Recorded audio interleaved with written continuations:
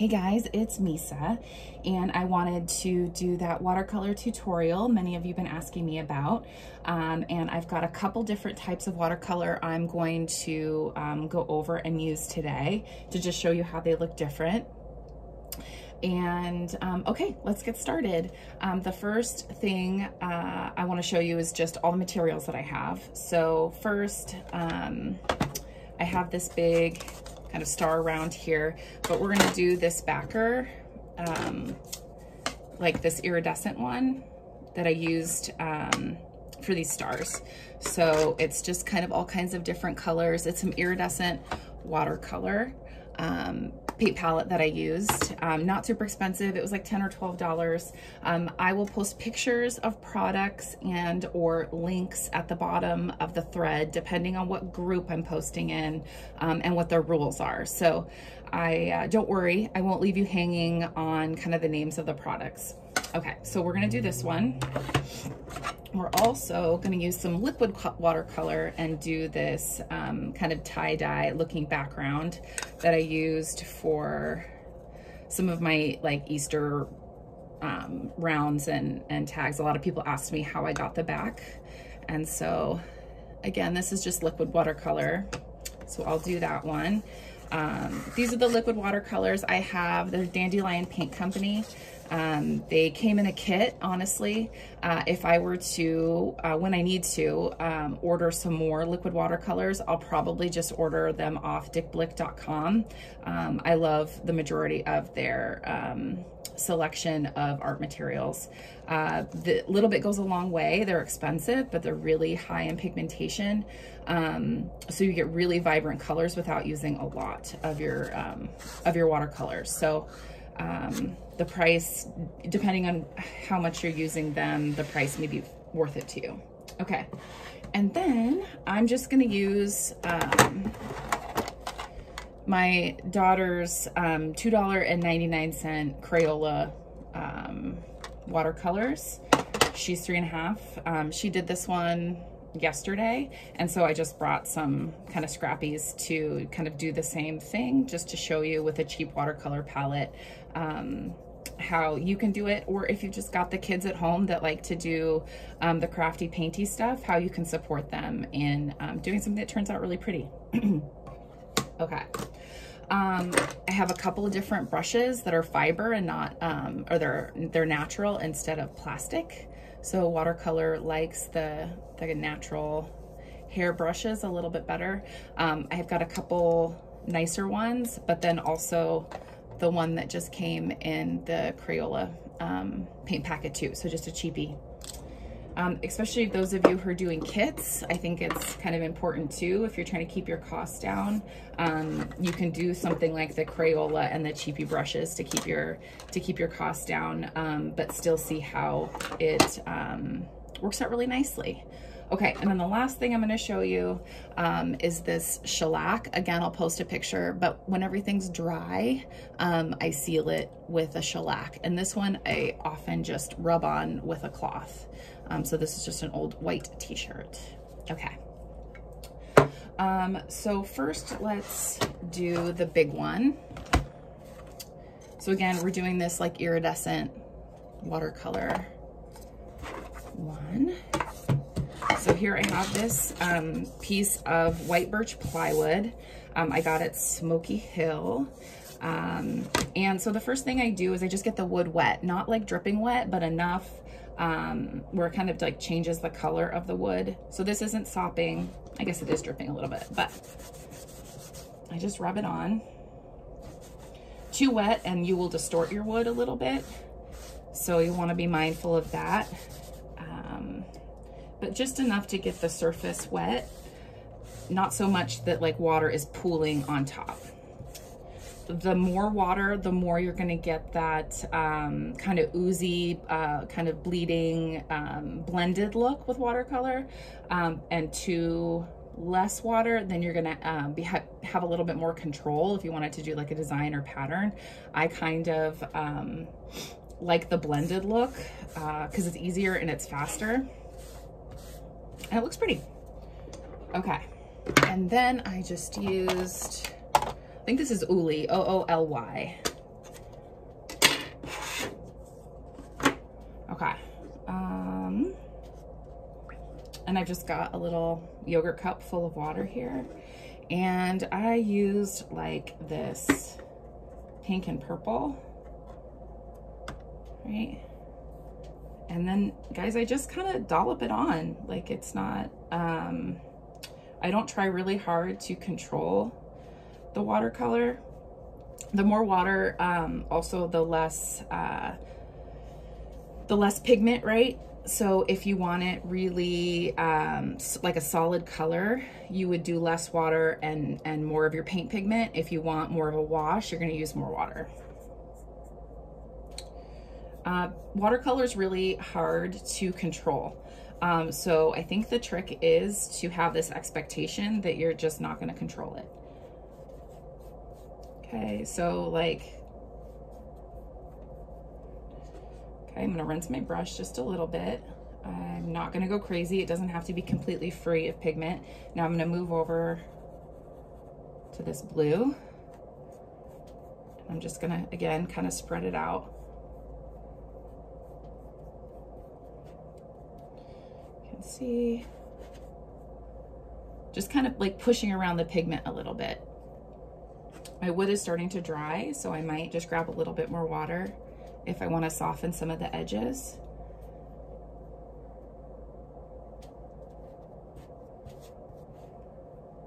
A little bit more blue maybe. Um, watercolor, as probably many of you know, feels a little temperamental at times. Um, if you overwork it, it will just get muddy. Um, and your wood will just, um, wood or paper can even start to like the fibers come up. So I think that's where the like letting go of the expectation of control helps a little bit more pigment of this one, just another blue color. You can also let it dry, like if you feel like you didn't um, get enough pigment on it, but it's starting to feel like it's um, turning muddy or something, you could also like let it dry and try and do another kind of light wash over it if you wanted to.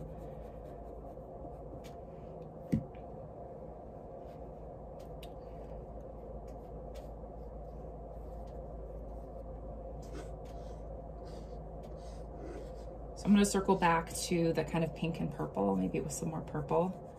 Just pick up a lot more pigment.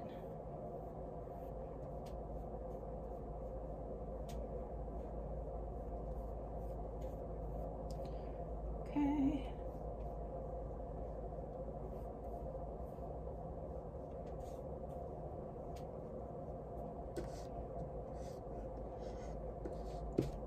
Maybe a little bit more of this blue I think I use green too, so maybe I'll dip into some of that.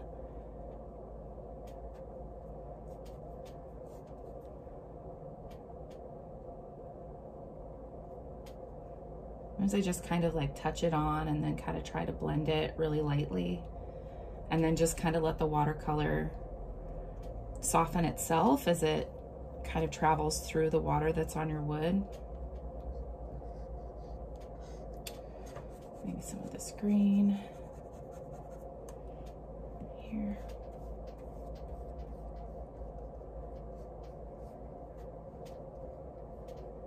Bigger pieces, I think, are a little harder because you have um, the the water it drying too. So just kind of working quickly, and then I think I did this blue down at the bottom.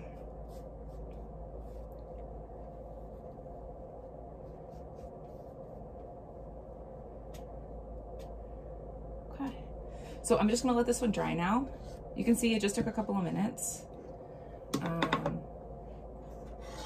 and as it dries, it will like soften a little bit. I'll take some pictures so we can see how it kind of um, dried up. Okay, so that's that one. All right, the next one I will do will be these little, excuse me, these little Easter guys can see this little backer. And again, I may just be crazy right now and not even change out my water. Um, I just got this wet. I'm getting a little ahead of myself. I haven't even set up my paint. Um, but so it looks like I used like orange and yellow and magenta and blue. So for this one, I'm just gonna use this little paint palette. And I have these guys, so I'm just going to do maybe two drops of yellow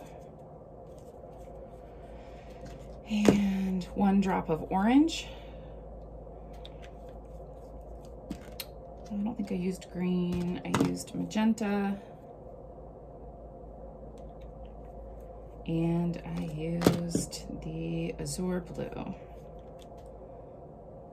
So I'm just using a drop. Um, and this will actually probably be too much. I'll be wasting some, so. Um, and then I'll use just this little cheap guy. Put that away. Okay, so the thing, um, if especially if you want to get the same um, uh, color or saturation um, each time, like if you get something that you like, a trick or just, you know, something you can do is um, you just keep track of how many drops of paint to how many drops of water. So um, I'm just gonna put a couple drops of water in here. So two, three, four, five, um, one, two, three. The yellow is a little um, softer, so I'm just gonna put two in there and then, so anyway, if you ever just wanna ever recreate um, like the same um, wash, you can just do it that way. Okay, so I might get this wet again. Sorry guys, tutorials just um, aren't something I do very often, so hang in there with me. Okay, so again, I've just wetted the wood. It has like a little bit of a sheen to it, but it doesn't have any puddles or anything. Um, and then just kind of load up my, my brush with paint water. Um, and I just kind of like drop it on. Like almost even like little dots. I was just, when I did this, I was like thinking of like a speckled egg or something. Then rinse my brush and maybe I'll like grab the yellow and kind of bring that in. Again, I'm just kind of like tapping it on. Um, I'll bring it a little closer maybe. So like, tap. So if it feels too light for you, you could add like another little drop of paint. I guess I kind of watered these down a lot. Oops.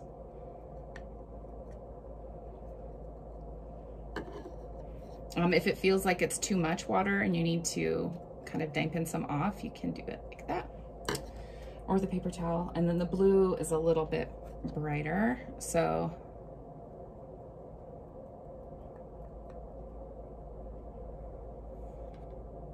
and because of the yellow and the orange, it's gonna turn green in some places. All right, maybe a little bit more right there. A little bit here, maybe.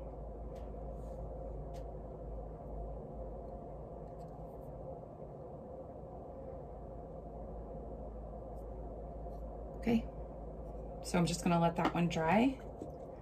Um, use a little bit bigger brush for this. So for the tops, I just did, I just picked a color. So like this bunny, I just painted it pink. Grabbed a little water, grabbed the pink, um, I did, I'm not even dampening the wood, I'm just painting it. You can see because it's just kind of a light wash, it's not um, interfering with my engrave at all. Okay.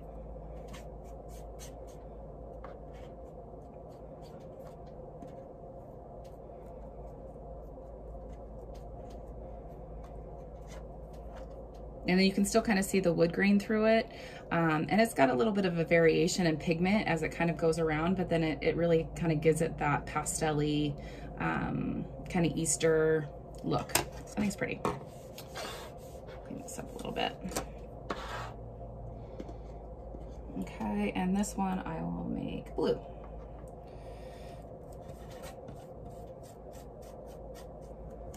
So again, it, it soaks in and it sort of just looks like a stain. You can see I'm not being careful, I'm being quick. Um, So it's just kind of a real fast. I don't need to worry about my engrave at all. And so that's done. All right. Moving right along.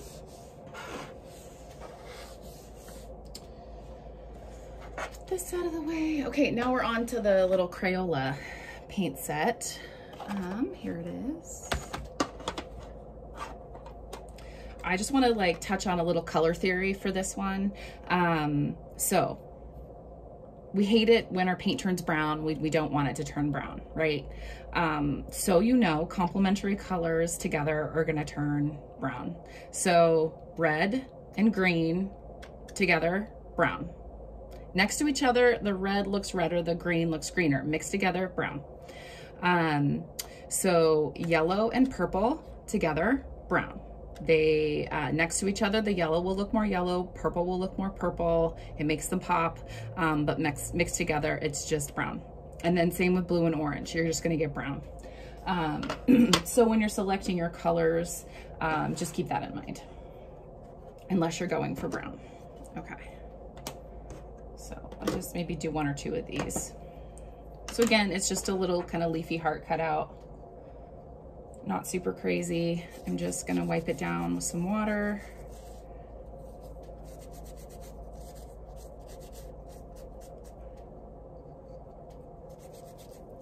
Just so that the watercolors will bleed and blend together nicely. Okay, again, just using the little Crayola brush.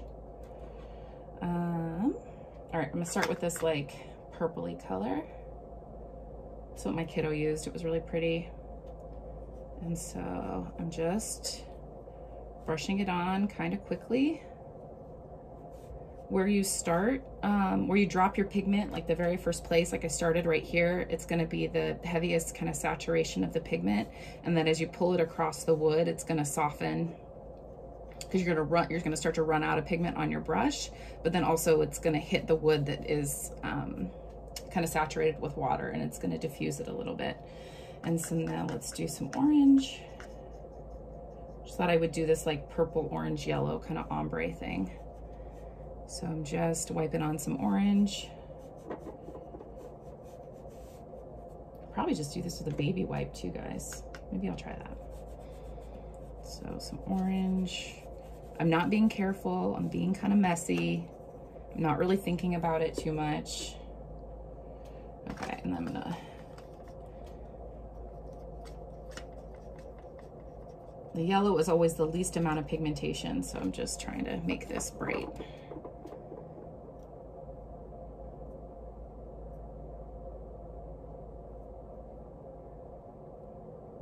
Okay, so that one's done. Maybe we'll do one more and I'll think about other things I can share with you. Wiping it down. Okay. Let's start with, I don't know, maybe this dark green. Um, so the more exp so the more expensive the watercolor, the better the pigmentation and the higher the pigmentation is likely going to be. Um, so if you're kind of wondering um, why you might pay a little bit more or even sometimes a lot more, um, for watercolor, that's generally the reason. Um, again, I'm just kind of slopping it on, going kind of fast. More water, more paint.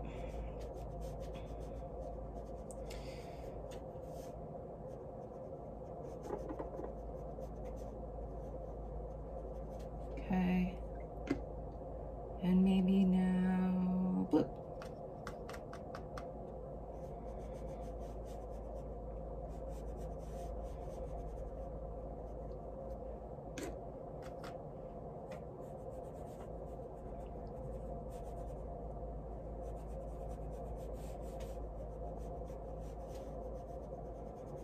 So once these dry, I will just wipe on some of that um, shellac and they will get kind of glossy.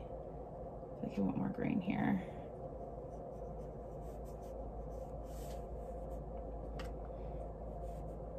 So I just wanted more pigmentation here, so I'm just kind of going over them again. I feel like the nice thing about watercolors, is there's like, it's meant to look blotchy, because um, that's a watercolor look. Uh, purple.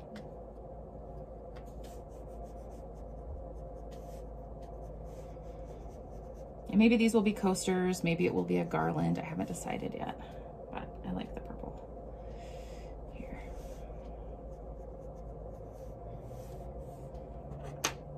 Okay, so you can see that one. Okay. All right, I think that's all I wanted to show you. Some of these have started to dry, so maybe we can kind of look at them a little bit. So, there's a notch in this piece of wood. So, so here's this one.